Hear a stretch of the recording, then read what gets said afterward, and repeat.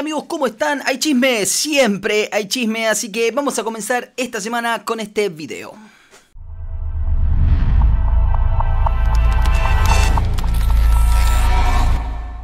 Bueno, finalmente se dio el show de Bauti en el Gran Rex y fue todo un éxito a pesar de que hubo mucha mala onda de parte de la gente. El Gran Rex, si no me equivoco, cuenta con más o menos más de 3.000 butacas, que es bastante, o sea que es muy difícil de llenar. Y obviamente que a Bautista le costó bastante hacerlo, pero lo logró, lo consiguió. No sé si lo explotó, no sé si sold out, pero la verdad que el lugar estaba lleno, llenísimo de gente que fue a disfrutar del show de Bautista, cerrando muchas bocas que lo querían boicotear. No voy a dar nombres porque no me gusta meterme en quilombos, pero lo cierto es que hubo mucha gente que intentó boicotear a Bautista, que logró un gran show en el Gran Rex y te podría decir que muchas butacas libres no se ven.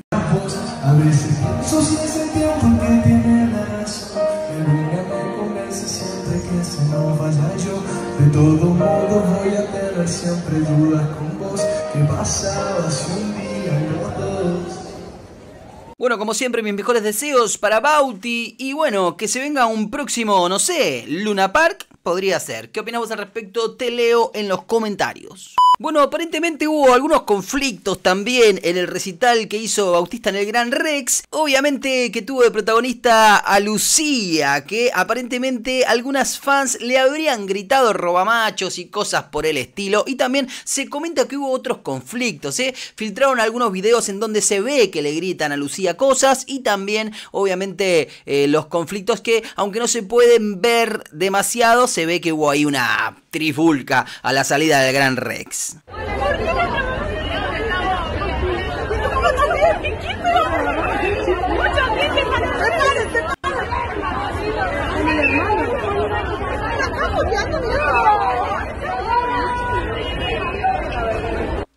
No se ve demasiado, pero aparentemente esto es real, o al menos así lo cuenta Flor Cabrera en el programa Se Picó, donde tuvieron una videollamada con Bautista, el protagonista de Gran Rex, y bueno, salió este tema. Miren lo que decía Flor Cabrera. Y quiero saber si te enteraste de algunas de las polémicas que pasaron post Gran Rex con, nuestros compañeros. Pasó de que se, una, una fan, no sé de quién, eh, la basurió, le insultó a Luchi afuera del Gran Rex. ¿Por qué tiene que ver Bauti con Bueno, pero como que eh, yo por lo menos lo que vi en Twitter es que Bauti estaba enojado con otra, otra compañera nuestra por haber arengado el hate, pero no sé si es real Bauti esto. Un cata. Eh, a ver, yo no me metí en ningún quilombo ni opiné, opiné de nada, pero igual de todos modos nunca voy a avalar el hate y el quilombo. O sea, realmente yo sé que esto es libre expresión y Twitter cada uno puede decir lo que sea y en la calle también, que está ok. Pero bueno, yo qué sé, la gente a veces cree que nosotros los que estamos más expuestos a, la gente somos como, viste, claro. no sé, como que lo que dice la gente no nos toca y la gente tiene derecho a decirnos cualquier cosa. Pero no sé de qué hablan, pero pudiste... No, según Luchi recibió patadas de una fan y todo porque ah. es como una cosa de... ¿Pero quién supuestamente incentivó esto? Y tu amiga Cata. no la iba a nombrar por eso, porque vos me metés en quilombo. Después, yo no creo que nadie avale esas cosas ni lo incentive. Creo que hay mucho rumor falso que se dice siempre y después cada uno empieza a repetir lo que quiere. Y yo de mi parte, de más está decir que nunca voy a darle la derecha a nadie, no importa quién sea, decir eh, que haya agresión. O sea, por favor. No, no, por favor, nadie, avala eso. En este medio. Sí. Lo haría. Tengamos la fiesta en... Bueno, Flor Cabrera, yo creo haciendo su trabajo. La verdad que no me cae para nada bien Flor Cabrera, pero hace su trabajo. O sea, está ahí para meter quilombo y mete quilombo. Lo quiere meter a Bautista en quilombo. Y claramente se nota que Flor Cabrera tiene algo contra Catalina. Y está claro también porque se detestan entre las dos, ¿no? Pero bueno, me sorprende que cuente eh, esto de que no solo fueron agresiones eh, tipo gritos y demás, sino que hubo agresión física, tipo patadas y esas cosas. Algo que ya lleva un poquito más lejos. Ella de alguna manera le echa la culpa a Catalina. Y es que hay un video también de Catalina, a ver si lo puedo encontrar por acá y lo vemos juntos. Acá está, un video en el que Catalina dice su famosa frase, que se caigan las caretas en medio del Gran Rex. Vamos a verlo.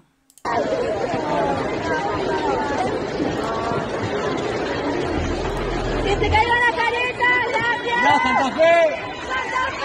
¡Santa Fe! Bueno, de alguna manera a eso se refiere, me imagino, porque no sé, no sé qué, qué, tanto tiene que ver. Creo que sí, Catalina es picante, pero no sé si tiene que ver con que Lucía reciba una agresión física o, que le griten roba machos o cosas así. Me parece que ese tipo de cosas no tienen nada que ver con Catalina. Qué sé yo, es lo que yo opino. Ahora, con respecto a esto, Catalina salió a responderle en vivo a Florencia y también le arrastró un poco su participación en los Martín Fierro. Bueno, vamos a escuchar lo que decía Catalina. Hola, buenas. Estoy acá preparándome para los Martín Fierro porque voy a la previa, voy a la cena y voy a la fiesta, pese a que me pese.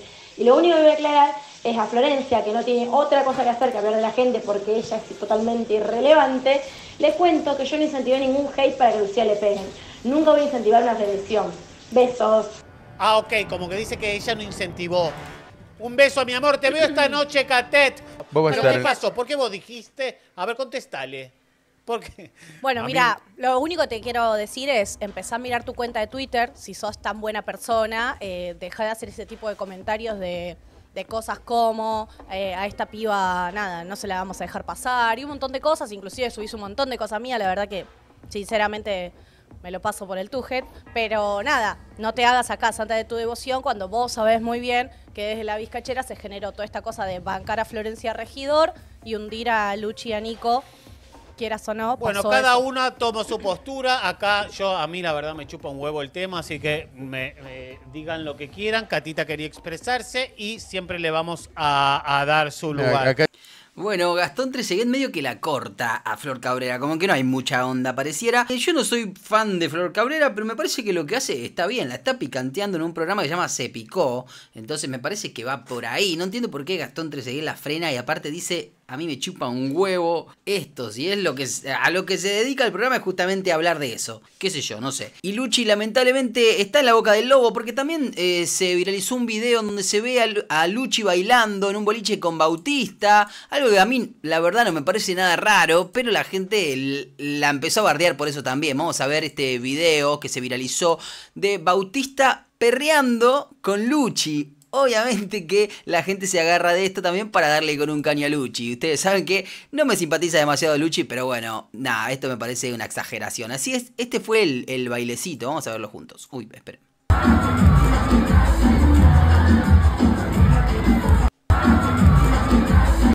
A ver que tenemos un plano un poco más cerca.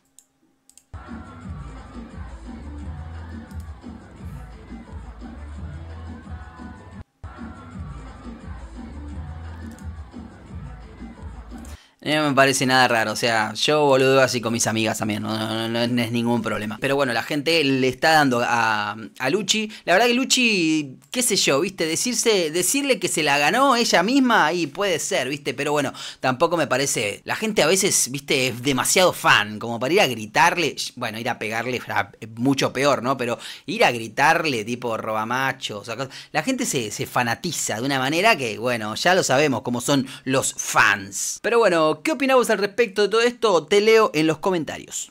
Bueno, sigue la polémica por los Martín Fierro, la Tora nominada a recibir uno y a mucha gente esto no le cae para nada bien y salen al cruce. Pero bueno, le preguntaron a Catalina justamente y a Manzana qué opinaban de Alfa, que era uno de las que criticaba esta nominación de la Tora y bueno, Catalina obviamente no se guardó nada y Manzana también sorprendió, miren. Alfa, sos un envidioso y mira cómo te ganó la tora. Labura, es buena gente, no como que sos un mala gente y encima pedorro. Pues se da el tupé de cuestionar que la tora esté nominada cuando se rompe el alma laburando, es buena gente y el otro por decir tres pelotas se piensa que puede estar nominado. Dale. Alfa me parece un payaso, es un ridículo total, no lo puedo ni ver, así de una. Así que si Alfa ve esto, que me venga y me lo diga. Él quiere llevarse todo el mérito de algo que no ha hecho, que es trabajar. Muy picante, ¿eh? Muy picante. Catalina no me sorprende. De manzana un poco sí, ¿eh? Te digo. No me la esperaba. ¿Qué opinan ustedes, amigos? Los leo en los comentarios. Seguramente Alfa va a salir a responder.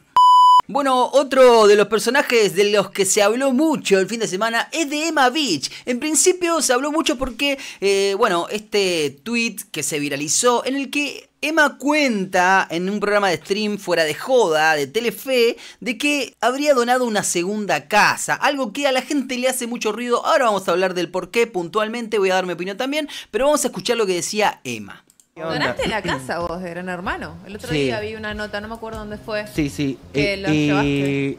¿No sabes qué? ¿Qué? Eh, oh, co- conseguí otra. ¿Me estás jodiendo? ¿Otra casa? Sí, con Pablo Layuz. Bueno, acá viene el primer problema que a la gente le molesta mucho, porque le dice la Tora, ganaste una casa que donaste. Y en realidad él no ganó una casa que donó. El que ganó la casa fue Bautista, que la decidió donar para el sueño de Manuel, que era que, bueno, le llegue una casa a este hogar que él apadrina. Bien, entonces lo que a la gente le hace ruido es que él no diga, no, pará, por lo menos diga yo y Bauti, ¿entendés? Que diga, que, que- que no aclare eso, a la gente le molesta. Pero bueno, nada, vamos a seguir. ¿Y qué? ¿A dónde la vas a donar? ¿Ahí? También ¿Al mismo todos. lugar? Sí. El mismo lugar. Sí, Ay, sí, qué sí. lindo. No, un ¿eh? aplauso. Primicia. Y por más personas como vos. Sí, no. sí, la verdad. Primicia. ¿Viste? Qué ganas de hablar. ¿Sabes qué pasa? Que cuando estás en un lugar en tu casa, puedes hablar tranquilo. Cuando estás Ay. cómodo. Y ahí tira un palito porque la verdad que hay mucha gente que lo critica. Bueno, yo me voy a enfocar en lo bueno, que es que le, dieron otra casa. O sea, dos casas van a llegar de donación. No importa quién la donó, no importa quién la donó, no, no creo que ese sea el foco. Pero bueno, a la gente le molesta que Emanuel haga bandera de que la donó y mucha gente cree que él no la donó. Yo creo que sí, que en parte es gestión de Manuel. Obviamente no podemos negar que Bautista también tuvo un gran gesto de donar una casa que ganó, o sea, para él, bueno, la donó a un hogar. Pero bueno, en parte es gestión de los dos, así que nada, el gesto se aplaude. No importa si Emanuel, porque también se critica que Emanuel tuvo la posibilidad de elegir casa o plata y se quedó con la plata. No sabemos qué tan verdad es eso, eso es lo que nos vendieron la producción, no sabemos si esto es real o no. Estaría bueno que lo aclare Emanuel y tampoco tiene nada de malo, porque uno necesita la guita. O sea, Emanuel estuvo un montón de tiempo dentro de la casa y me parece que se merecía un premio. Y Bautista, por otra parte, donó una casa, sí, pero se ganó un millón, una millonada de, de, de- de guita. Entonces, Tampoco está mal ni uno de- ni el otro. Es, es un excelente gesto de Bautista que de todas maneras estaría bueno que Emanuel lo recalque también, porque si a la gente le duele tanto que no lo nombre, Emanuel tendría que nombrarlo y ya, creo yo. Pero bueno, el foco está en que dos casas van a ser donadas para este hogar, del que ahora Emanuel cuenta un poco más todo. Me pollo. Qué bien, Emma. Se piola, boludo, conseguí en- hace tres días. ¿Hablaste con los mismos que te dieron de Gran Hermano o otro? otro No, lugar? otra Muy marca. bien. ¿Lo, habías Otra anun- ¿Lo marca. dijiste, lo anunciaste en algún lado? No, no, no. Y eso vale el se doble están porque enterando ahora. es- hay personas que lo hacen para hacerse ver. Obvio. Lamentablemente, ahora. hay como para decir, Obvio. bueno, hay que hacerse ver, esto sirve. Y hay otras Ah, no. personas que lo hacen de corazón realmente y lo tienen guardadito. Y mira, le salió la de la nada. Y ahora, ¿qué tiene que ver eso? Si vos haces una buena gestión y la decidís publicar, yo no lo haría, la verdad, pero tampoco me parece mal, o sea, está bueno que se haga, que se haga de la forma que sea, ¿entendés? Si vos vas a donar una casa, un hogar, y querés que subirlo a Instagram, hacelo. Mientras done la casa de verdad, a mí me chupa un huevo. De hecho, por ahí incentivás a más gente con guita que, que lo haga, qué sé yo.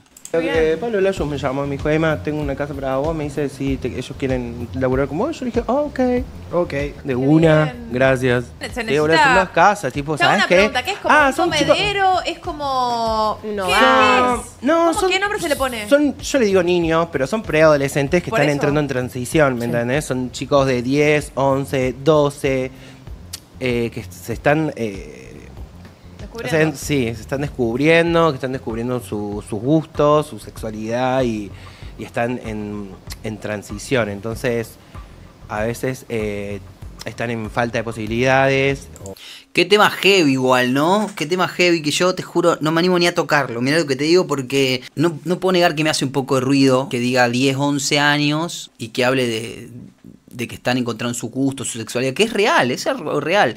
Pero bueno, no puedo negarlo, viste, que me hace ruido, es algo que no sé, necesitaría debatirlo y tomarme el tiempo para decir lo que pienso, porque lo tengo que confesar que no, no, no sé, me, me hace ruido, me hace ruido. No sé qué pensarán ustedes, seguramente muchos me juzguen y me digan, hey, vos un... eh, eh, no sé, cualquier cosa me van a decir, pero bueno, nada, me gustaría entender un poco más, me gustaría entender un poco más, qué sé yo. Pero bueno, no voy a tocar este tema demasiado porque no quiero que me cancelen de nuevo. Pero bueno, se donó, se donaron dos casas entonces a el hogar que apadrina Emanuel. Eso me parece que está buenísimo y es lo que hay que destacar. Bueno, y también se viralizó un tweet, un supuesto tweet que habría hecho Emanuel Beach, em, y también por esto fue bastante destacado el fin de semana, Emma, en el que Emma dice lo siguiente. Ningún GH compartió un lindo momento conmigo cuando los invité al estreno de mi video Solo Alan, el Córdoba y Paisa, Flor y Damián. Aparte de mis amigos y productores y mi amor.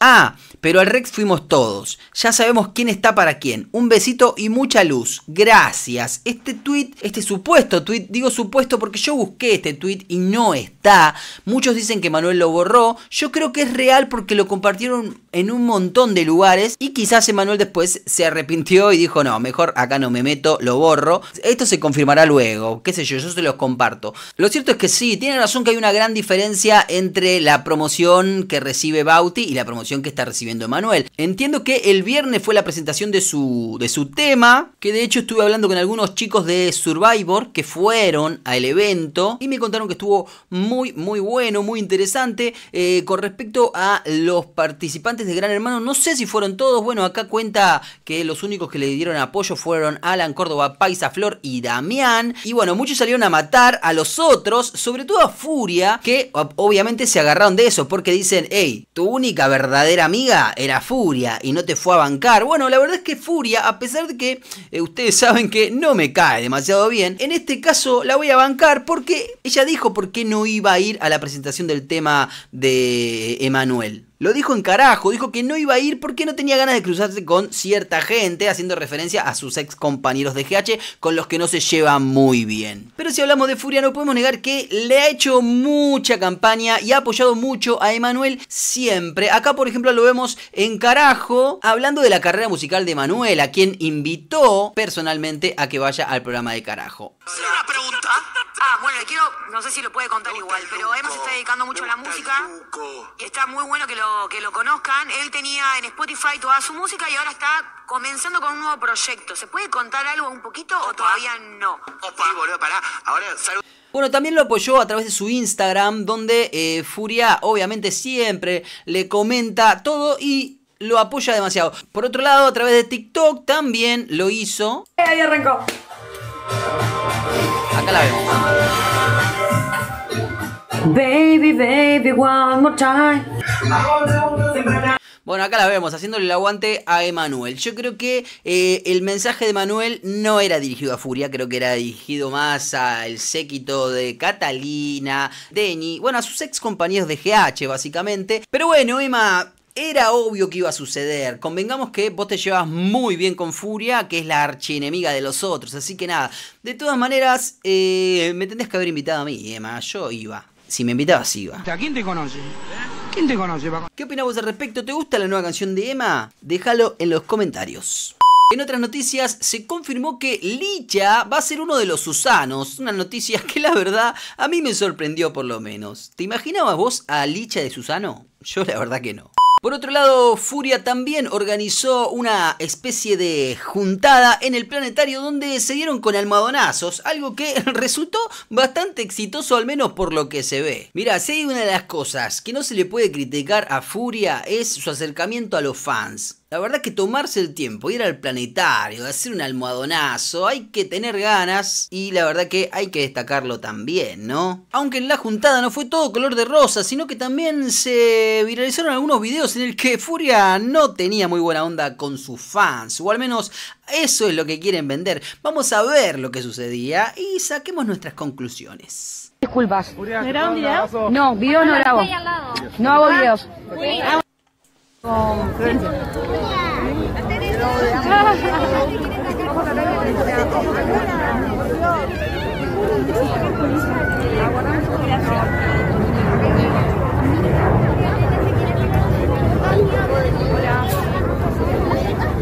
camina tres pasos y llega.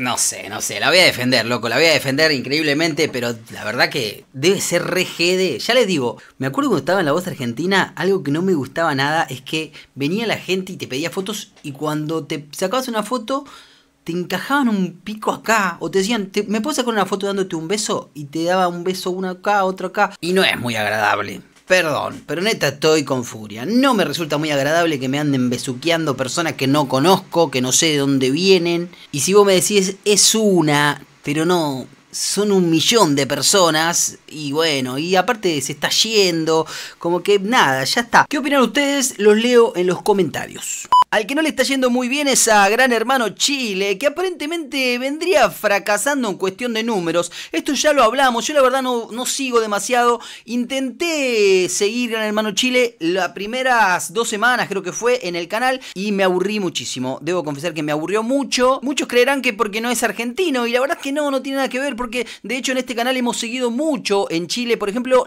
The Voice, el programa The Voice, hemos hecho las dos temporadas en este canal y nos ha ido muy bien. Sin embargo, con Gran Hermano hermano no me iba mal, pero la verdad es que me aburría mucho hacerlo, entonces decidí no hacerlo más. Y bueno, según Ángel de Brito, a Gran Hermano Chile no le estaría yendo muy bien, de hecho estarían pensando en terminarlo antes de tiempo para comenzar Gran Hermano Argentina. Vamos a ver qué decía Ángel de Brito. En breve. en breve, no ya pero en breve. Gran Hermano 2025, que iba a comenzar en diciembre, comenzaría en noviembre. Noviembre. Lo adelantan, rajan a los chilenos que están adentro de la casa, van a apurar la salida de los no le chilenos. Está yendo bien a Chile tampoco. No le está yendo nada bien a Chile. Eh, el 13 está ganando últimamente al prime time. Bueno, yo creo que la primera temporada de Gran Hermano Chile tampoco fue demasiado exitosa. No fue, o sea, no le fue mal, pero en comparación a lo que fue Gran Hermano Argentina, ni comparación. Y con respecto a esta segunda temporada, yo creo que han cometido muchísimos pésimos errores. Yo no sé si los han cambiado o qué, pero bueno, una de las cosas que a mí me alejó del formato en la segunda semana es que en las galas no había gente, era eh, todo como muy casero, se veía todo como muy barat. Y tampoco se terminaba de entender de qué iba el programa, porque veías la gala y eran puros clips de la casa, no había debate, entonces nada, son cosas que a mí, por lo menos a mí, me aburrieron mucho y me alejaron del formato. Así que me alegra que termine porque comenzaría Gran Hermano 2024, digamos, que por lo que cuentan eh, se adelantaría obviamente y no sería tan extenso como fue el último GH. No sé, yo lo dudo, yo creo que si va bien la van a estirar, pero bueno, nada, nos ofrecerán cosas nuevas también para esta nueva edición de Gran Hermano, veremos cómo funciona una tercera edición de Gran Hermano consecutiva. Veremos cómo responde la gente al respecto. Yo creo que le puede ir muy bien, pero también creo que repetir tantas veces un formato puede llegar a aburrir a la gente. No sé, ¿qué opinan ustedes? ¿Verían un tercer Gran Hermano? Yo por mi parte sí. Quiero leerlos a ustedes en los comentarios.